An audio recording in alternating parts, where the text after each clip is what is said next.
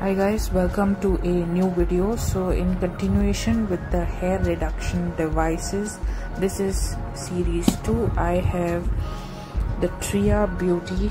I hope you can see the tria beauty hair removal laser 4x so this is a clinically proven device fda approved and uh, this is going to be just an unboxing. I will be giving a detailed review further on in my videos this is the box the outer packaging. This is the sleeve. Everything about the device how the device works where where you can use the device how the laser beam penetrates. Everything is shown here. And we will open the box. Box opens up here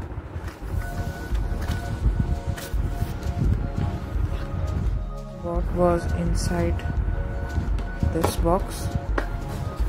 I just popped this box out of that box and it's a nice plain white packaging and beneath is green. Do you know how you unbox mobile phones? Similarly we pop this box out and we have got the actual device. Looks like this this is the power button. I think you, you have seen if you go on typing Tria Beauty on the YouTube uh, uh, YouTube platform you know that this is what the device is like. I'm going to do it again. You know how the device looks like. This is a well-renowned laser at home laser device and many uh, youtubers have reviewed this device so this is what I purchased three months ago. This is how you power on the button. The device is locked. The battery is full. This is a signal to unlock. It's not Wi-Fi it's a signal to unlock.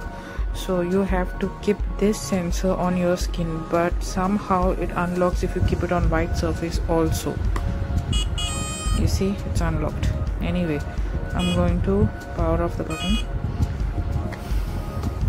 beneath this we have a box.